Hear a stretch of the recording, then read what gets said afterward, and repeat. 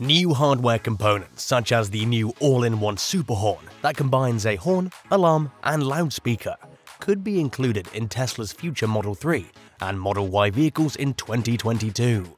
A leaked document on the German-language Tesla forum TFF exposed this functionality and others.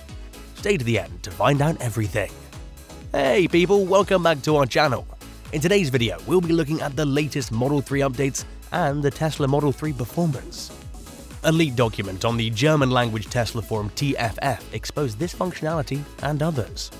The document specified component changes appear to be intended for European regulator scrutiny.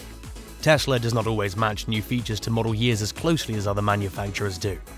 In April 2019, for example, the business began installing its new complete self-driving computer in automobiles. The company then began adding an external speaker beneath Model 3 bumpers in September of that year, to comply with legislation requiring electric vehicles to have a pedestrian alert system. Tesla's Acoustic Vehicle Alerting System, which makes sounds to warn nearby inattentive pedestrians due to electric vehicles' relative quietness compared to internal combustion engine vehicles, included the external speaker add-in. The firm, which is recognized for its oddities, later added various sounds, such as goat bleats and fart rips that blast from the exterior speaker after blowing the horn a new cabin radar, an infrared camera for Model Y, laminated rear door windows, and a new infotainment computer are among the other noticeable modifications. With the changeover to the 2022 model year, Tesla revealed certain adjustments to the Model 3 and Model Y, including some minor changes to the naming system of their vehicles. Along with adding lithium iron phosphate batteries to the RWD Model 3, Tesla's made a number of other big and minor adjustments in the model year update. Julian, a Model 3 owner from Germany, discovered the information after seeing a full list of 29 changes published from testing in the Netherlands last month on the TFF forum.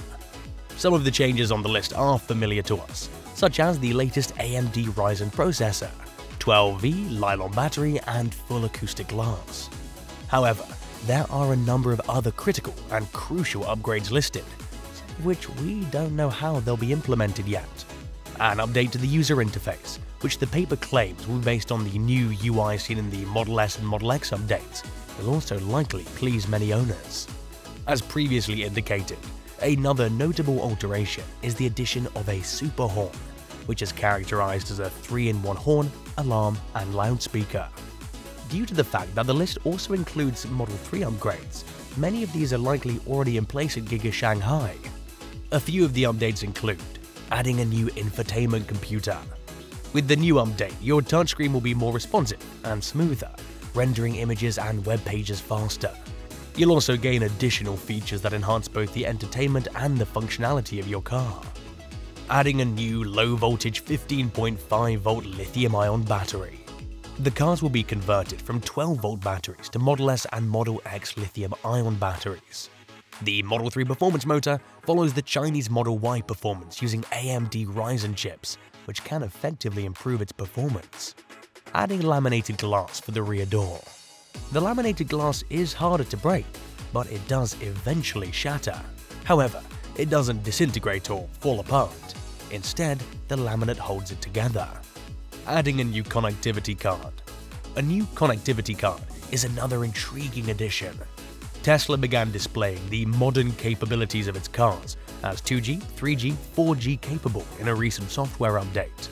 Adding Superhorn, a 3-in-1 horn, alarm and loudspeaker to AVAS version. The new part will replace the current system, which is described as Superhorn, a 3-in-1 horn, alarm, speaker AVAS version, implying that the automobile will need fewer speaker parts. The component may have a single speaker or a group of speakers that can play the Sentry Mode alert, AVAS noises, and horn. It may also deter hazardous modifications. Some electric vehicle owners such as Nissan Leaf and Tesla owners prefer silence in motion and have unplugged pedestrian warning speakers. Disconnecting the new all-in-one AVAS speaker may result in the horn being disabled as well. Updating the windshield washer pump for 15.5 volts. Model 3 and Model Y as mentioned earlier will ditch their heritage lead acid batteries in favor of 15.5 volt lithium ion versions, as well as additional accessories like a 15.5 volt windshield pump. Tesla made a similar change to the new Model S and Model X for 2021, adding an R55 device as a rear towing device. The addition of an in-cabin radar for the Model Y is one of the most important updates. The Federal Communications Commission gave Tesla permission to install millimeter wave sensors in its cars earlier this year. According to FCC filings, radar sensors would be able to detect youngsters who'd been left in the automobile, They'd also boost their theft prevention systems by installing a 6-foot security range outside their vehicles and detecting damaged windows and vehicle incursions. Addition of the assembly plant Gigafactory 4 Berlin Brandenburg. Several of the updates could be released first from Tesla's newest factory, given that these changes were disclosed in the Netherlands, and some specifically mention Giga Berlin and Europe. Adding updated Perf brake pad friction material to Model 3. The list mentioned new brake pads, a new version of the brake discs, and improved brake pad friction material for the Model 3 performance brakes.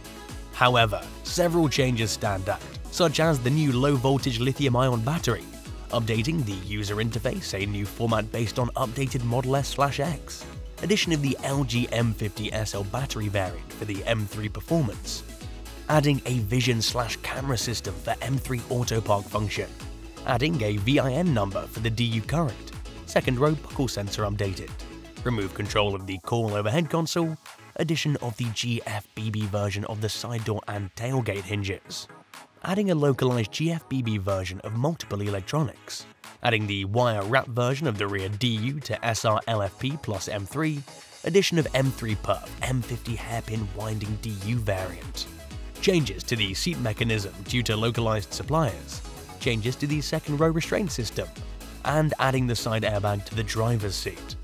That's most likely a substitute for the usual 12-volt car battery, which powers low-power systems like door locks, alarms, and the onboard computer. With the Model S and Model Y, Tesla had previously done this, so the modification was unavoidable. A new high-performance motor will be available in the Model 3's Performance Edition, as well as a fresh new infotainment computer, more baggage mass in the Model Y, and enhanced double-glazed acoustic glass.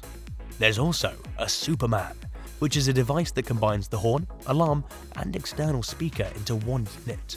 Tesla may be a company that prefers to provide aftermarket upgrades via software updates, but this isn't always practical. Those updates rely on existing hardware that the automaker had the forethought to install, which is why its vehicles continue to receive such updates. It's impossible to say what advantages some of these features, particularly the new infotainment computer, may offer. We should expect something similar to happen here, given that Tesla has already begun installing the new AMD Ryzen chip in Chinese Model Ys, resulting in improved infotainment performance and load times. Unfortunately, we won't be seeing AMD-powered gaming machines with 10 teraflops of processing power inside the cheaper Tesla cars. At least, not yet. There's no official statement from Tesla on these upgrades, but we'll undoubtedly learn more in the coming weeks. Let us know in the comments below. If you found this video interesting, be sure to hit the like button and stay tuned. See you again with another exciting video. Until then, goodbye.